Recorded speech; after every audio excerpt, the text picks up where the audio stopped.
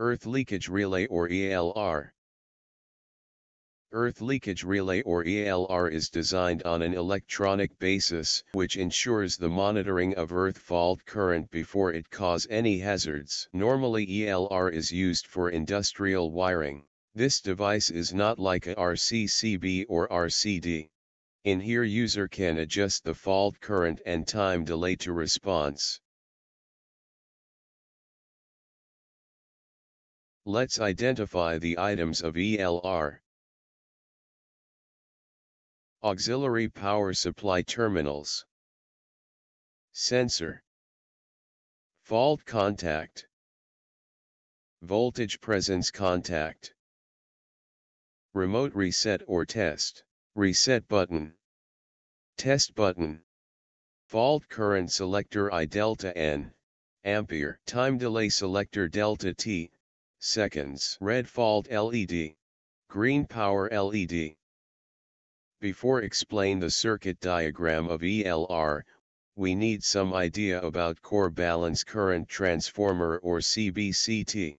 Core balance current transformer or CBCT is a ring-type current transformer through center of which a three-core cable or three single-core cables of three-phase system passes. CBCT is normally used for earth fault protection for low and medium voltage systems. Let's see the circuit diagram of ELR 4-pole MCCB or 4-pole molded case circuit breaker.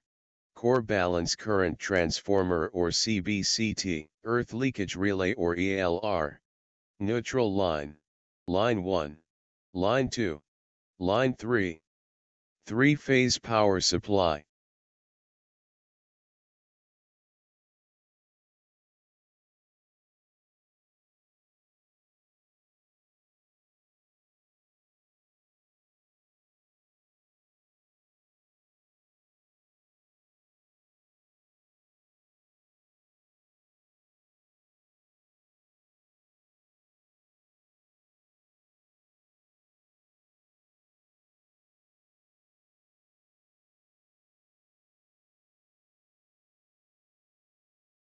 To shunt coil.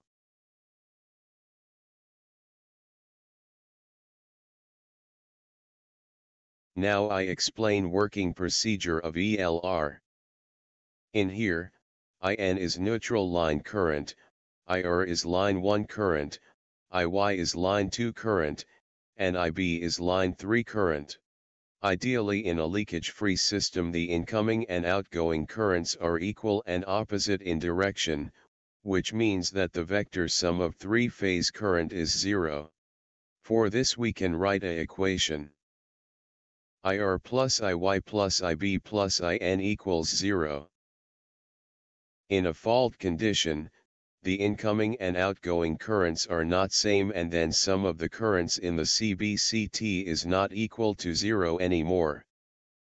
Then that value compares with the user selected fault current level and the relay will trip to indicate a fault condition as soon as the leakage current and response time exceeds the set level.